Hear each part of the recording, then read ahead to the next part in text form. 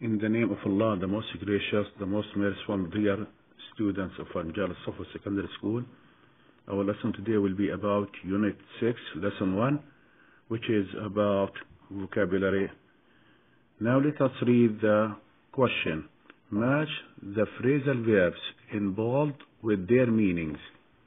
Okay, number one. There is some bad weather, so the plane will take off two hours later.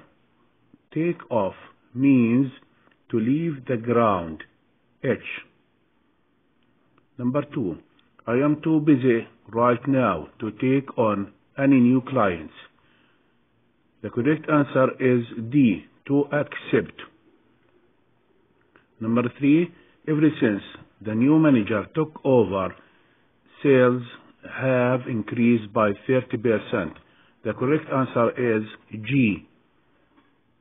To take control. Number four.